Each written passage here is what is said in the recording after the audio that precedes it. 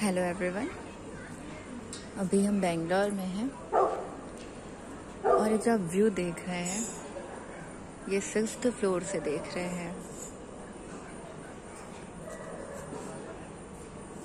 सामने एक पीपल का पेड़ है ये, अंधेरा इसलिए आपको दिखेगा नहीं बट आप शेडो देख सकते हैं इसकी। ये पेड़ छठवीं मंजिल तक आ चुका है, ये इतना बड़ा है।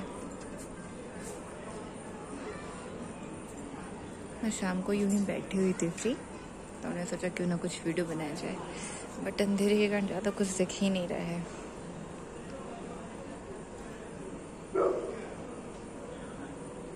बट दिन के समय यहाँ से व्यू बहुत सुंदर होता है।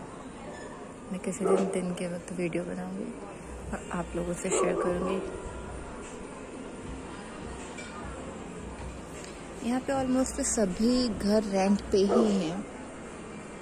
और रेंट यहाँ पे, अगर आप पीजी में जाते हैं तो आठ हज़ार से शुरू होता है। और अगर आप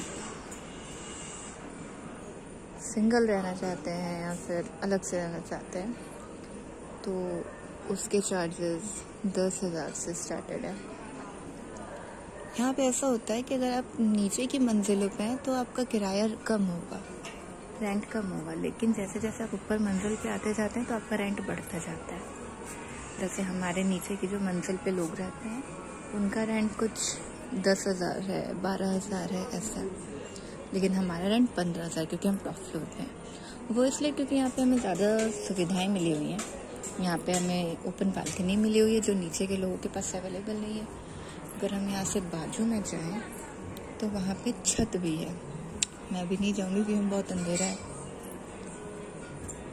तो छत भी है, यहाँ पर बालकनी है ओपन व्यू है, हम आराम से यूज़ कर सकते हैं छत का। में ऊपर तो चढ़ने की ज़रूरत नहीं है।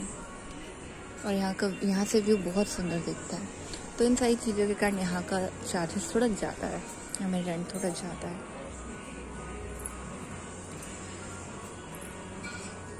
बस, और तो कुछ नहीं है दोस्तों बताने को।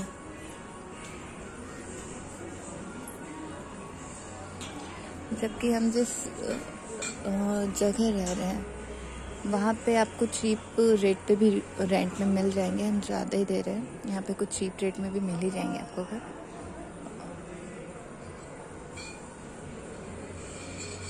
तो एक्सप्लोर करना पड़ेगा थोड़ा तो शायद मिल भी जाए That's it. Okay, bye. I don't have anything else to share with you. So, terracotta